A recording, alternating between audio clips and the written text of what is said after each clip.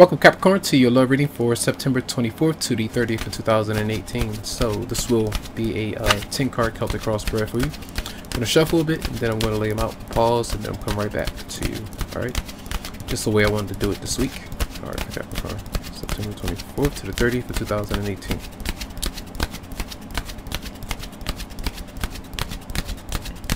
Okay.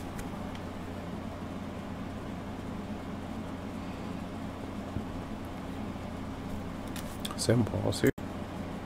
So Capricorn, we're going to look into your uh, reading here. So uh, I do feel that many of you may have you may have gone through some um, intense issues with somebody. Now, this could have been last week and maybe throughout the weekend, um, but there might be an issue where a lot of you are, are, either waiting for an apology or you're waiting, someone might be waiting on you to open up and express something so that you can kind of move on and let go of some kind of a confrontation or um, conflict verbally or physically, um, emotionally as well, where you may have been drained. So I feel like this week is um, you might just kind of uh, focus on the home environment. You might be focusing on career as well as you kind of wait for something to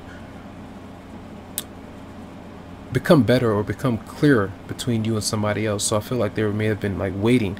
You've been waiting for something to get better and for someone to either open up or for you to realize that someone is either not going to make a change or they're going to make a change to come back around to you or open up to you in some way. So I feel there's a, a an energy where some of you are just um, kind of being held back energetically from opening up to somebody. Yes, someone wants to work with you. Someone wants to potentially um, either move in together um, when it comes to the home environment, but it seems like you're either pushing for this other person to come towards you and someone else is doing that as well so you are either a competing person in a scenario or someone else is competing for your love interest and i feel like you know about these things but you don't really address it or you don't bring up that topic and you're not really sure if you want to commit to somebody because you feel like all right well if um, you're the third person or somebody else competing for you then just let them have that person or let them go ahead and move forward with it because I feel like it brings out a lot of anxiety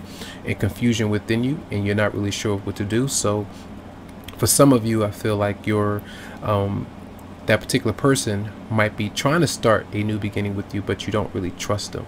Um, I get a sense of in some way. So I feel like part of what needs to happen is for you to focus on what you actually want right now.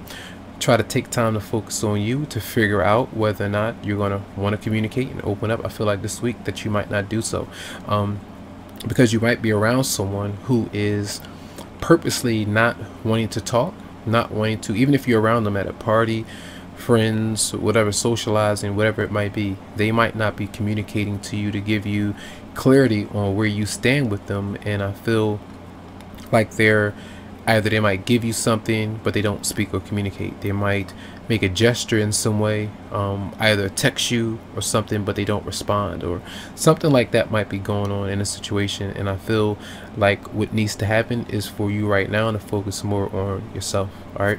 Um, because you might not be ready if you're not certain about someone else's intentions and what they might be doing.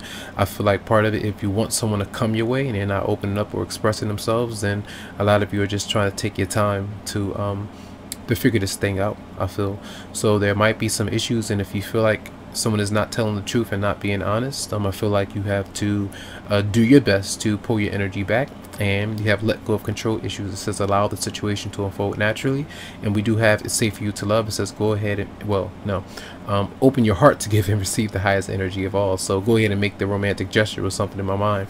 So for some of you, you might not be certain that you want to open up to somebody to communicate um, because they're not doing that with you right now. So um, you feel like they might just be kind of, you know um, being a bit naive or not really taking you seriously, taking you for granted, um, and that could be an issue. So I feel like some of you might be even in a marriage or relationship where you want to move on from it, but you're not sure or certain because you're not sure if that person, the newer person's in agenda or their intentions. So um, that might definitely be an issue for some of you out there. So it's pretty much you oriented right now, whoever you might be around, whoever you might that might reach out to you then that's the energy that you have to kind of uh, go with right now and not force yourself into a situation that's not really healthy. So um, I do feel like someone is around you who is they might be taking advantage of the fact that you aren't certain or that you don't feel like you are in a position to communicate your needs right now. So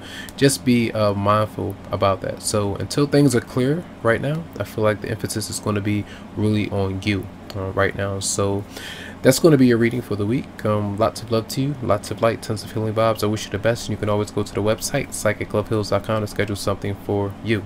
All right have a good one